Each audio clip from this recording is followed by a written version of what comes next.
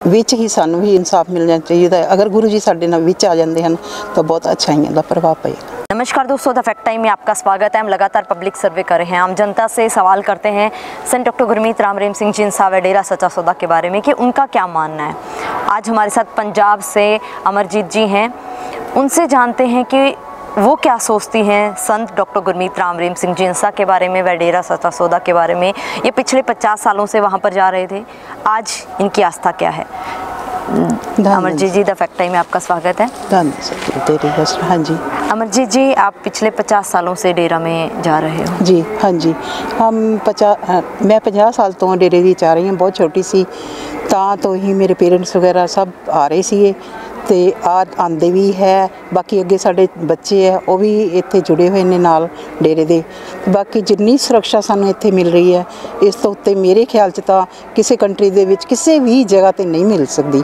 ਮੇਰੀ ਬੇਟੀ ਸਿਮਰਪ੍ਰੀਤ ਕੌਰ ਨਿਊਜ਼ੀਲੈਂਡ ਉਹ ਵੀ ਇੱਥੇ ਹੀ ਪੜ੍ਹੀ ਹੈ, ਤੇ ਇੱਥੇ ਜਿੰਨੀ ਸੁਰੱਖਿਆ ਮਿਲੀ ਹੈ, ਉਹ ਸ਼ਾਇਦ ਮੈਂ ਉਹਨੂੰ ਘਰ ਵੀ ਨਾ ਦੇ ਸਕਦੀ। ਕਿਉਂਕਿ ਅਸੀਂ ਵਰਕਿੰਗ ਵੂਮਨ ਆ, ਤੇ ਕੰਮ ਵੀ ਕਰਨਾ ਹੈ ਬਾਹਰ ਜਾ ਕੇ ਤੇ ਬੱਚਿਆਂ ਦਾ ਜਿਹੜਾ ਖਿਆਲ ਇੱਥੇ ਰੱਖਿਆ ਜਾਂਦਾ ਹੈ ਉਹ ਸ਼ਾਇਦ ਕਿਤੇ ਵੀ ਨਾ ਰੱਖਿਆ ਜਾਵੇ। ਤੁਸੀਂ ਤੁਹਾਡਾ profession ਕੀ ਹੈ?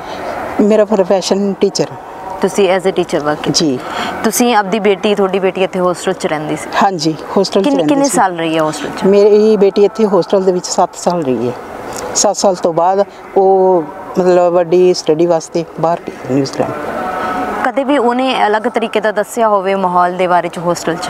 ਉਹਨੇ ਮੇਰੀ ਬੇਟੀ ਨੇ ਸਭ ਕੁਝ ਅੱਛਾ ਹੀ ਦੱਸਿਆ ਕਿਉਂਕਿ ਉਹ ਕਹਿੰਦੀ, ਮੰਮੀ, ਜਿਹੜਾ ਤੁਸੀਂ ਕੰਮ ਘਰੇ ਬਹਿ ਕੇ ਨਹੀਂ ਕਰ ਸਕਦੇ ਸੀ, ਉਹ ਸਾਨੂੰ ਪਿਤਾ ਜੀ ਨੇ ਇੰਨੀ ਵਧੀਆ ਸਿੱਖਿਆ ਦਿੱਤੀ ਹੈ। ਪਿਤਾ ਜੀ ਨੇ ਜਿਹੜੇ ਪਿਤਾ ਜੀ ਸਾਡੇ ਇੱਕ ਮਤਲਬ ਜਦੋਂ ਵਿਅਸ਼ੇ ਨੂੰ ਆਪਣੀ ਬੇਟੀ ਬਣਾ ਸਕਦੇ ਹੈ ਤਾਂ ਕਿਸ ਤਰ੍ਹਾਂ ਦੂਜੇ ਬੱਚਿਆਂ ਦੇ ਨਾਲ ਇਸ ਤਰ੍ਹਾਂ ਵੀ ਮਿਸਬਿਹੇਵ ਨਹੀਂ ਕਰ ਸਕਦੇ ਕਿਉਂਕਿ ਬੱਚੇ ਹੀ ਸਭ ਕੁਝ ਹਨ। ਲੇਕਿਨ ਮੀਡੀਆ 'ਚ ਤਾਂ ਇੱਥੇ ਜਾਣ ਵਾਲੀ ਬੇਟੀਆਂ ਜਿਹੜੀਆਂ ਆਸ਼ਰਮ 'ਚ ਬੇਟੀਆਂ ਜਾਂਦੀਆਂ ਨੇ ਜਾਂ ਹੋਸਟਲ 'ਚ ਲੜਕੀਆਂ ਜਿਹੜੀਆਂ ਪੜ੍ਹੀਆਂ ਉਹਨਾਂ ਦੀ ਇੱਜ਼ਤ ਨੂੰ ਤਾਰ-ਤਾਰ ਕੀਤਾ ਗਿਆ ਸੀ। ਤੁਸੀਂ। ਕੀ ਕਹਿਣਾ ਚਾਹੋਗੇ ਇਸ ਬਾਰੇ? ਇਹ ਸਭ ਝੂਠ ਹੈ ਕਿਉਂਕਿ ਇੱਥੇ ਇਸ ਤਰ੍ਹਾਂ ਦਾ ਕੁਝ ਵੀ ਦੇਖਣ ਨੂੰ ਨਹੀਂ ਮਿਲਿਆ। ਬਚਪਨ ਤੋਂ ਮੈਂ ਆ ਰਹੀ ਹਾਂ ਤੇ ਬਚਪਨ ਤੋਂ ਹੀ ਮੇਰੇ ਬੱਚੇ ਆ ਰਹੇ ਨੇ ਤੇ ਇਸ ਤਰ੍ਹਾਂ ਦਾ ਕੁਝ ਵੀ ਨਹੀਂ ਹੈ 100% ਝੂਠ ਬੋਲਿਆ ਜਾ ਰਿਹਾ ਤੇ ਬਾਕੀ ਮੀਡੀਆ ਤਾਂ ਜੋ ਸੋਚਦਾ ਉਹੀ ਕਹੂਗਾ। ਗਲਤ ਇਹਨਾਂ ਨੇ ਸੱਚਾਈ ਨੂੰ ਤਾਂ ਕਦੇ ਮਤਲਬ ਅੱਗੇ ਆਣ ਹੀ ਨਹੀਂ ਦਿੱਤਾ। ਜੋ ਸੱਚਾਈ ਹੈ ਉਹ ਸਭ ਤੋਂ ਜ਼ਿਆਦਾ ਇਹ ਹੈ ਕਿ ਇੱਥੇ ਮਤਲਬ ਕੀ ਕਹਿੰਦਾ ਸੁਰੱਖਿਆ ਬਹੁਤ ਜ਼ਿਆਦਾ ਬੇਟੀਆਂ ਦੀ ਖਾਸ ਕਰਕੇ ਤੁਸੀਂ ਕੀ ਅੱਜ ਵੀ ਗੁਰੂ ਜੀ ਦੇ ਨਾਲ ਹੋ? ਬਿਲਕੁਲ ਨਾਲ ਅਸੀਂ। ਅਸੀਂ ਜਿੰਦੇ ਮਰਦੇ ਦਮ ਤੱਕ ਜਿੰਨੀ ਦੇਰ ਸਾਡੇ ਸਵਾਸ ਹੈ ਅਸੀਂ ਇਸ ਡੇਰੇ ਦੇ ਨਾਲ ਜੁੜੇ ਰਹਾਂਗੇ। ਸਾਡੇ ਅਖੀਰੀ ਸਾਹ ਵੀ ਇੱਥੇ ਹੀ ਨਿਕਲਣਗੇ। ਗੁਰੂ ਜੀ ਤੇ ਜਿਹੜੇ ਆਰੋਪ ਲਗਾਏ ਜਾ ਰਹੇ ਹੈ, ਉਹਨਾਂ ਬਾਰੇ ਕੀ ਕਹਿਣਾ ਹੈ ਤੁਹਾਡਾ? ਉਹ ਨਿਰਾ ਨਿਰਾਧਾਰ ਨੇ ਬਿਲਕੁਲ ਝੂਠ ਨੇ। ਉਹ ਝੂਠ ਦਾ ਇੱਕ ਪਲੰਦਾ ਬਣਾਇਆ ਜਾ ਰਿਹਾ ਹੈ, ਕਿਉਂਕਿ ਸੱਚਾਈ ਨੂੰ ਤਾਂ ਸਾਹਮਣੇ ਆਣ ਹੀ ਨਹੀਂ ਦੇ ਰਹੇ। ਜਿਹੜੀ ਇੱਕ ਝੂਠੀ ਚਿੱਠੀ ਦੇ ਆਧਾਰ ਤੇ ਇਹਨਾਂ ਨੇ ਮਤਲਬ ਪਿਤੇ ਤੇ ਬਲੇਮ ਲਾਈ ਜਾਂ ਗੁਰੂ ਜੀ ਤੇ ਬਲੇਮ ਲਾਏ ਨੇ, ਉਹ ਬਿਲਕੁਲ ਗਲਤ ਹੈ। ਅਸੀਂ ਇਹ ਕਵਾਂਗੇ ਵੀ ਇਹ ਸਾਨੂੰ ਇਨਸਾਫ ਮਿਲਣਾ ਹੀ ਚਾਹੀਦਾ ਹੈ। ਸੱਚ ਕੀ ਹੈ? ਤੁਸੀਂ ਅੱਜ ਵੀ ਅੱਜ ਵੀ ਕਿਉਂ ਜੁੜੇ ਹੋ ਉਹਨਾਂ ਦੇ ਨਾਲ? ਮਤਲਬ ਉਹਨੂੰ ਇਹ ਜਿਹਾ ਕੀ ਦੇਖਣ ਨੂੰ ਮਿਲਿਆ ਇੱਥੇ, ਜਿਹੜੇ ਅੱਜ ਵੀ ਤੁਸੀਂ ਉਹਨਾਂ ਦੇ ਨਾਲ ਖੜੇ ਹੋ? ਸਾਨੂੰ ਇਹੀ ਸੁਰੱਖਿਆ ਆ, ਬਾਕੀ ਸਾਨੂੰ ਜਿਹੜੀਆਂ ਚੰਗੀਆਂ ਸਿੱਖਿਆਵਾਂ ਨੇ, ਸਾਰੀਆਂ ਇੱਥੋਂ ਹੀ ਪ੍ਰਾਪਤ ਹੁੰਦੀਆਂ ਨੇ। ਤੇ ਅਸੀਂ ਮਤਲਬ ਕਿਸੇ ਧਰਮ ਨੂੰ ਛੱਡਿਆ ਨਹੀਂ, ਅਸੀਂ ਸਾਰੇ ਧਰਮਾਂ ਦਾ ਆਦਰ ਸਤਿਕਾਰ ਕਰਦੇ ਹਾਂ ਤੇ ਅਸੀਂ ਕਰਦੇ ਰਹਾਂਗੇ। ਸਾਡੇ ਗੁਰੂ ਜੀ ਨੇ ਇਹੀ ਸਿੱਖਿਆ ਦਿੱਤੀ ਹੈ ਵੀ ਸਾਰੇ ਧਰਮਾਂ ਦਾ ਆਦਰ ਕਰੋ ਤੇ ਸਾਰਿਆਂ ਦਾ ਸਤਿਕਾਰ ਕਰੋ ਤੇ ਬਾਕੀ ਆਪਣੇ ਗੁਰੂ ਦੀ ਸਿੱਖਿਆ ਤੇ ਚੱਲੋ। ਸਾਨੂੰ ਜਦੋਂ ਅੱਜ ਗੁਰੂ ਜੀ ਨੇ ਇੰਨੀ ਵੱਡੀ ਸਿੱਖਿਆਵਾਂ ਦਿੱਤੀਆਂ ਨੇ, ਅਸੀਂ ਉਹਨਾਂ ਤੇ ਕਿਉਂ ਨਹੀਂ ਚੱਲਾਂਗੇ, ਕਿਉਂ ਨਹੀਂ ਜੁੜਾਂਗੇ? ਅਸੀਂ ਤਾਂ ਮਰਦੇ ਦਮ ਤੱਕ ਇਹਨਾਂ ਦੇ ਨਾਲ ਹੀ ਜੁੜਾਂਗੇ। ਦੇਸ਼ ਦੇ ਲਈ ਕੀ ਕੀਤਾ ਗੁਰੂ ਜੀ ਨੇ? ਦੇਸ਼ ਦੇ ਲਈ ਬਹੁਤ ਵੱਡਾ ਕਦਮ ਚੁੱਕਿਆ। ਉਹਨਾਂ ਨੇ ਵੇਸ਼ਿਆਵਾਂ ਨੂੰ ਆਪਣੀਆਂ ਬੇਟੀਆਂ ਬਣਾਇਆ। ਬਾਕੀ ਨਸ਼ੇ ਦੇ ਕੋੜ ਨੂੰ ਦੂਰ ਕੀਤਾ ਆ ਤੇ ਕਈ ਹੋਰ ਤਰ੍ਹਾਂ ਦੇ ਇਸ ਤਰ੍ਹਾਂ ਦੇ ਕੰਮ ਕੀਤੇ ਹਨ। ਗਰੀਬ ਗਰੂਪ ਦੀ ਸੇਵਾ ਕਰਨੀ ਹੈ। ਬਾਕੀ ਕੋਈ ਸੜਕਾਂ ਤੇ ਰੁਲ ਰਿਹਾ ਉਹਨਾਂ ਦੀ ਸੇਵਾ ਕਰੋ। ਸੰਗਤ ਨੂੰ ਇਹੀ ਪ੍ਰੇਰਿਤ ਕਰਦੇ ਹਨ ਕਿ ਵੀ ਤੁਸੀਂ ਇਹ ਸੰਗਤ ਦੇ ਨਾਲ ਜੁੜੋ। ਅਮਰਜੀਤ ਜੀ ਤੁਸੀਂ ਕੀ ਦੱਸਣਾ ਚਾਹੋਗੇ ਸਮਾਜ ਦੇ ਬਾਰੇ ਚ? ਜਿਵੇਂ ਸਮਾਜ ਦੇ ਵਿੱਚ ਦੇਖਦੇ ਹਾਂ ਕਿ ਆਏ ਦਿਨ ਐਵੇਂ ਦੀਆਂ ਖਬਰਾਂ ਆਉਂਦੀਆਂ ਛੋਟੀ ਛੋਟੀ ਬੇਟੀਆਂ ਦੇ ਨਾਲ ਰੇਪ ਹੋ ਰਹੇ ਹੈ ਜੀ।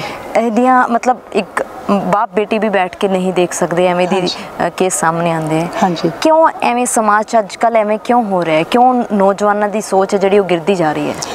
ਦੇਖੋ, ਇਹ ਇਹਦੇ ਵਿੱਚ ਇੱਕ ਗੱਲ ਦਾ ਕਹਿਣਾ ਆ ਵੀ ਦੇਖੋ, ਬੇਰੋਜ਼ਗਾਰੀ ਬਹੁਤ ਜ਼ਿਆਦਾ ਵੱਧ ਚੁੱਕੀ ਹੈ, ਜਿਸ ਦੇ ਪਿੱਛੇ ਛੋਟੇ ਬੱਚੇ ਨਸ਼ਿਆਂ ਦੇ ਵਿੱਚ ਲੱਗੇ ਹਨ। ਉਹ ਨਸ਼ੇ ਕਰਕੇ ਬੇਟੀਆਂ ਤੇ ਗਲਤ ਅੱਖ ਰੱਖਦੇ ਹਨ। ਇਸ ਕਰਕੇ ਇਹ ਮਤਲਬ ਇਸ ਕੋਡ ਨੂੰ ਵੱਢਣਾ ਚਾਹੀਦਾ। ਪਹਿਲਾਂ ਨਸ਼ੇ ਤੋਂ ਹੀ ਗੱਲ ਚੱਲਦੀ ਹੈ। ਅਗਰ ਜੇ ਨਸ਼ਾ ਨਹੀਂ ਹੋਊਗਾ ਤਾਂ ਇਹ ਮਤਲਬ ਇਹ ਚੀਜ਼ਾਂ ਨਹੀਂ ਹੋਣਗੀਆਂ ਤੇ ਬੱਚੇ ਵੀ ਮਤਲਬ ਲੜਕੀਆਂ ਖਾਸ ਕਰਕੇ ਸੁਰੱਖਿਅਤ ਰਹਿਣਗੀਆਂ ਕਿਉਂਕਿ ਜਦ ਜਦੋਂ ਬੱਚੇ ਆਪਣੇ ਕੰਮਕਾਰਾਂ 'ਚ ਲੱਗ ਜਾਂਦੇ ਹਨ ਤਾਂ ਉਹਨਾਂ ਨੂੰ ਕੋਈ ਇਹੋ ਜਿਹੀ ਚੱਕਰ ਨਹੀਂ ਪੈਂਦਾ ਹੈ। ਸਰਕਾਰਾਂ ਨੇ ਕੋਈ ਇਸ ਲਈ ਕਦਮ ਚੱਕੇ ਨਹੀਂ ਸਰਕਾਰਾਂ ਨੇ ਚੱਕੇ ਨਹੀਂ ਪਰ ਮੰਨਦਾ ਕੌਣ ਹੈ? ਕੋਈ ਨਹੀਂ ਮੰਨਦਾ। ਦੇਖੋ ਗੁਰੂ ਜੀ ਦੇ ਮਗਰ ਇੰਨੀ 4 ਕਰੋੜ 7 ਕਰੋੜ ਜਿੰਨੀ ਵੀ ਸੰਗਤ ਹੈਗੀ ਹੈ ਉਹ ਸਾਰੀ ਗੁਰੂ ਜੀ ਦੇ ਵਚਨਾਂ ਤੇ ਕਾਇਮ ਹੈ ਠੀਕ ਹੈ ਨਹੀਂ ਹੁਣ ਦੇਖੋ ਸਮਾਜ ਦੇ ਵਿੱਚ ਗਲਤ ਅਨਸਰ ਵੀ ਨੇ ਤੇ ਠੀਕ ਵੀ ਨੇ।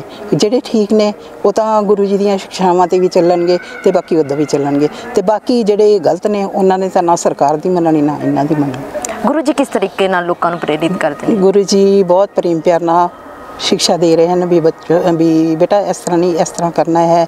ਤੁਸੀਂ ਚੰਗੀ ਸਿੱਖਿਆਵਾਂ ਤੇ ਚੱਲੋਗੇ ਤਾਂ ਤੁਹਾਡਾ ਜਿਹੜਾ ਆਉਣ ਵਾਲਾ ਪੀੜ੍ਹੀਆਂ ਨੇ ਉਹ ਵੀ ਸੁਧਰ ਜਾਣਗੀਆਂ। ਕੀ ਗੁਰੂ ਜੀ ਨੇ ਕਦੇ ਜਾਂ ਆਸ਼ਰਮ ਤੁਹਾਡੇ ਤੋਂ ਕਦੇ ਦਾਨ ਚੜਾਵਾ ਲਿਆ ਗਿਆ? ਬਿਲਕੁਲ ਵੀ ਨਹੀਂ ਲਿਆ। ਸਗੋਂ ਸਾਨੂੰ ਦਿੱਤਾ ਹੀ ਹੈ ਸਾਨੂੰ ਇੱਥੇ ਚੜਾਇਆ ਹੋਇਆ ਦੀ ਕੋਈ ਜ਼ਰੂਰਤ ਵੀ ਨਹੀਂ ਪਈ।